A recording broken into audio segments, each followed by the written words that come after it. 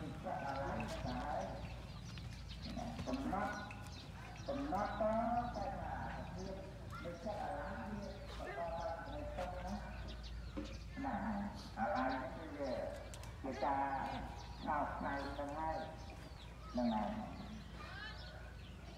ប៉ុន្តែវាមានលក្ខណៈជាការអាល័យចឹងទៅប្រសាទផ្នែកច្រើនទៀតទៅតាម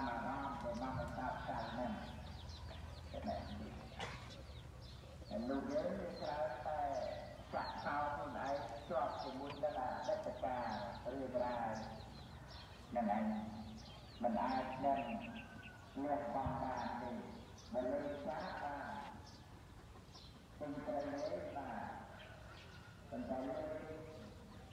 ចាប់តែវាអាឡ័យទៅក្នុងអតីតកាលហ្នឹងវាមិនងាយទេតែអាចលេងបានដោយអំណាចនៃបញ្ញាអប់រំបញ្ញាចឹងអញ្ចឹងបើថា